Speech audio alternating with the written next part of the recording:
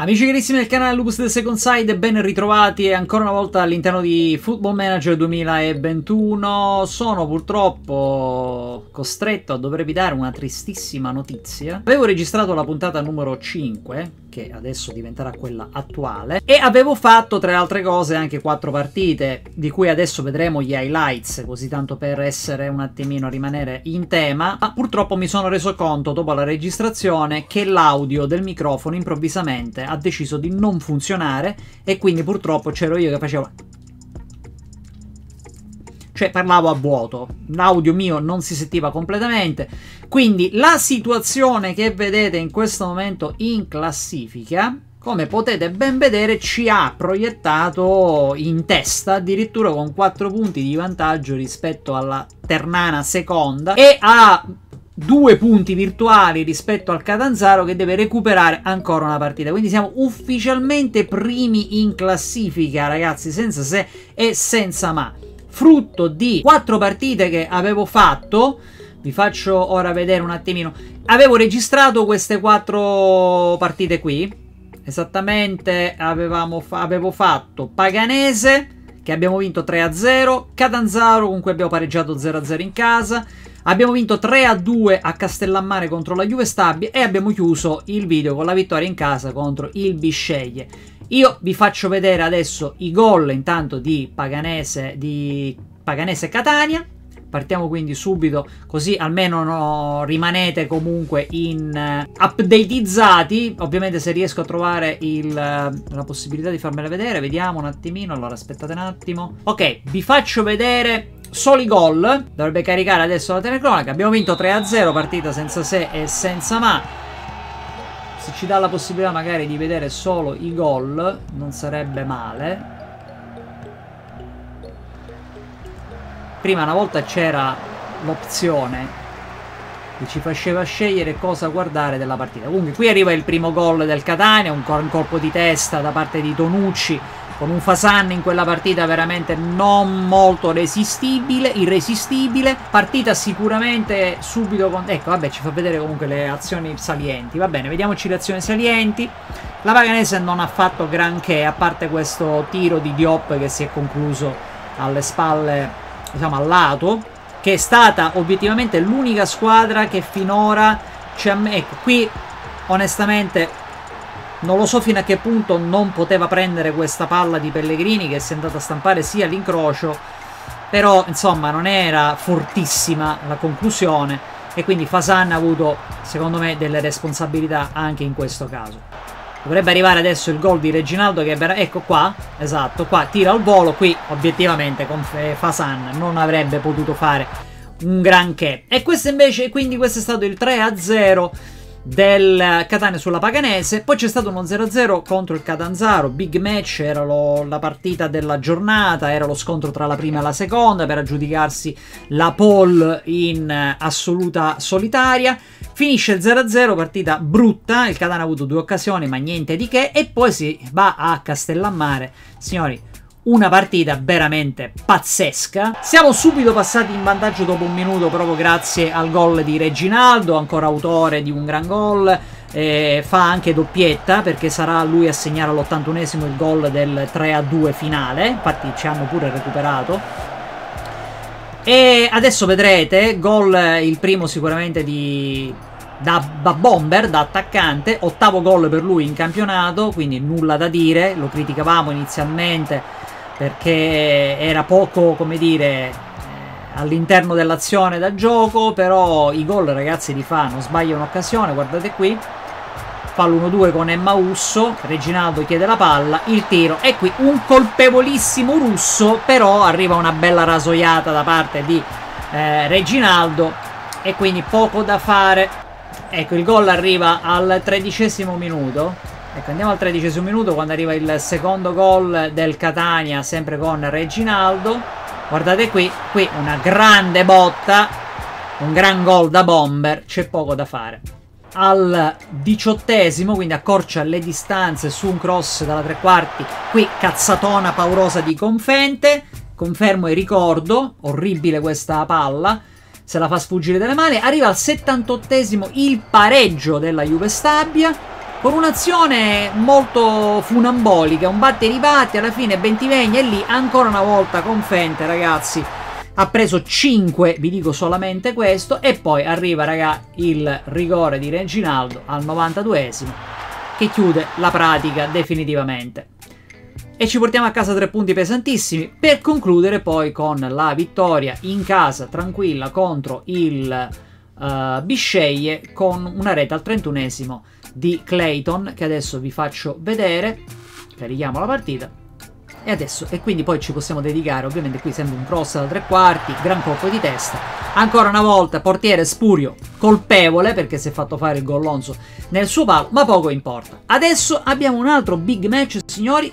Ce la giochiamo contro il Teramo squadra quarta in classifica in questo momento e quindi prepariamoci alla grande Signori, qua apriamo la giornata con una bruttissima notizia. Vicente, nostro centrocampista di un certo livello, si infortuna per 4 mesi. Signori, 4 mesi perché abbiamo il team giusto. Ma sarebbero stati dai 3 ai 7 mesi, ragazzi. Questa è una notizia orribile. Orribile perché il nostro centrocampo sicuramente subirà la sua assenza. Abbiamo comunque come sostituirlo? Sì, ma Vincente, ragazzi, era un, una pedina fondamentale per noi. Vabbè, ad ogni modo, apriamo la giornata con Avellino Bari, un, bel, un bello scontro. Il Bari fa una bella vittoria, sì, adesso si va a prendere il quarto posto in anticipo scavalcando il Teramo momentaneamente. Adesso abbiamo una bella giornata di fronte a noi con un Catania Teramo di tutto rispetto e poi si va a Cava dei Tirreni in trasferta, Bibonese Turis, Francavilla, Monopoli, Viterbese Juve Casertana, Catanzaro, attenzione questa partita è difficile, Palermo Foggia, altra partita difficile, Ternana Paganese, qui secondo me la Ternana va a passeggiare. Quindi vediamo che cosa succede. Abbiamo comunque recuperato un po' di gente. Ora attenzione perché gente di 34 anni anche no. Sta per entrare, stiamo per entrare adesso nel mercato perché si sta per iniziare anche il mercato di gennaio. 25 anni questi qui approvali. Tutta gente di un certo livello. Trentenne portiere troppo vuole quindi scartiamolo. E risultati strani, no, tranne la vittoria della Turis a Vibo Valencia, no. Per il resto, ah, la Juve Stabia perde 2-0 a Viterbo. Cazzo. Purtroppo perdiamo Vicente. Tabi fa un passo indietro. confermiamo Reginaldo lì davanti, piccolo del Mausso sulle fasce. Clayton e Tonucci coppia d'attacco senza ombra di dubbio. Confermiamo e ci vediamo in campo. Partita Catania-Teramo. Subito il Catania con piccolo dalla tre quarti dopo due minuti centro dell'aria, palla spazzata, riesce a recuperare ancora Persini che allarga sempre per Piccolo che potrebbe ancora una volta innescare un cross al centro e attenzione, sfioriamo il gol con Mazzarani se non sbaglio. Già subito Catania aggressivissimo. Finisce il primo tempo con risultati che arrivano bruttissimi dagli altri campi perché Catanzaro sta vincendo 2-0 a Caserta. Noi che stiamo pareggiando obbrobriosamente contro il Teramo. Quindi io direi mani sui fianchi, possiamo, non mi è affatto piaciuta la vostra partita. Cominciamo il secondo tempo.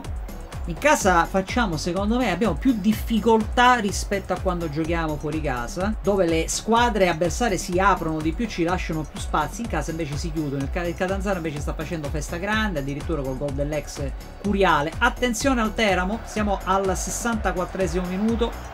Piccolo ruba una gran bella palla, fa partire il contropiede, ma siamo 2 contro 4, schierati tutti bene. Reginaldo appoggia benissimo a Piccolo, attenzione, e lì non può sbagliare!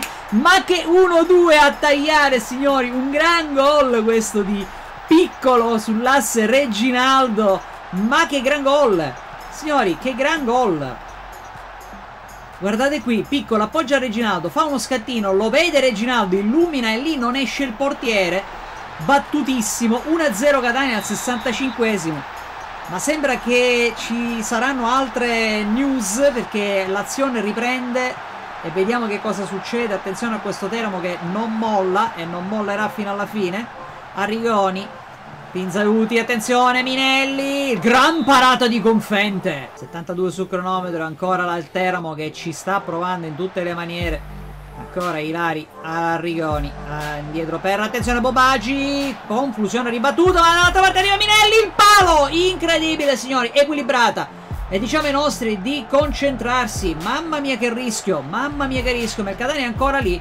Reginaldo potrebbe appoggiare Dell'Oio lo fa perde la palla momentaneamente la raggiunge piccolo fallo per lui Costa Ferreira, attenzione, è stato già monito ma non viene redarguito. Meno male. Siamo all'88 minuto, tanto per perdere un po' di tempo che ne abbiamo bisogno, facciamo uscire chi sta male. Faccio entrare Kevin Biondi intanto, dall'altra parte poi sta giocando malissimo Michele e Mausso. Entra, vabbè, al suo posto Alessandro Gatto per qualche scampolo di partita. 4 di recupero sanciti dall'arbitro che se ne stanno andando affievolendosi così e il Catania batte il Teramo 1-0 ma rischiando veramente, ma veramente grosso. Non siamo stati abbastanza bravi. Non siamo stati abbastanza bravi. Queste partite si dovrebbero vincere con un piglio maggiore. Il Catania vola, signori. Ormai è diventata quasi una lotta a due fra Catanzaro e Catania, che è l'unica squadra al momento perché il, la Ternana è a 7 punti, mentre il Catanzaro è l'unica squadra che ci sta praticamente tampinando. Quindi facciamo partire la conferenza stampa, tutto positivo, positivissimo. E andiamo avanti perché adesso c'è la Cavese in trasferta. Altra partita molto, ma molto delicata. Diciannovesima giornata di Canzi, ventesima giornata, quindi la prima del campionato del girone di ritorno. Viscei Viterbese, Catanzaro Ternana. Mamma mia che partita ragazzi, qui potremmo veramente approfittare. Juve Stabia Casertana, Paganese Avellino, Bari Vibonese, Cavese Catania. Non è però facile. Foggia Virtus Francavilla, Teramo Potenza Turis Palermo. E vediamo come va. Vediamo come va.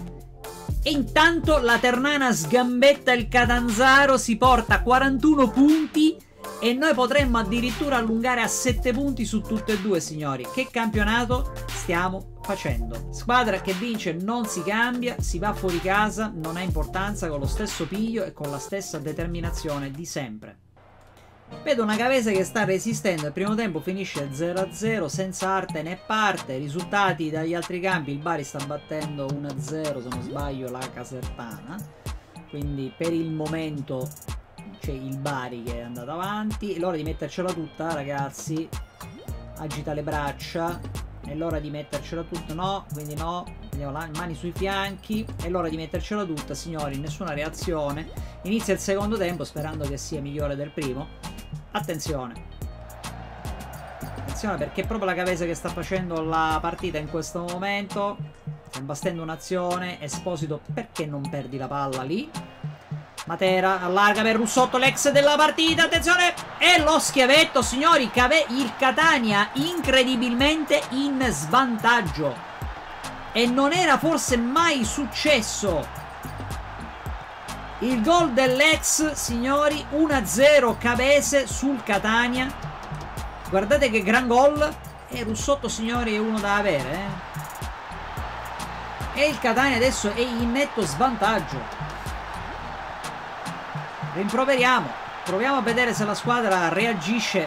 Ma attenzione, ancora Russotto, ancora lui, il tiro il 2-0. Signori, ma che cosa sta succedendo? Una catastrofe. Andiamo con mentalità offensiva. Mamma mia, Russotto, ragazzi, ci ha educati per bene oggi. Vediamo ancora questo. Ma qui però la difesa è un po' troppo ferma, secondo me. Guardate che ci siamo lasciati sfuggire. E eh sì, ciao. Ci siamo lasciati sfuggire Russotto.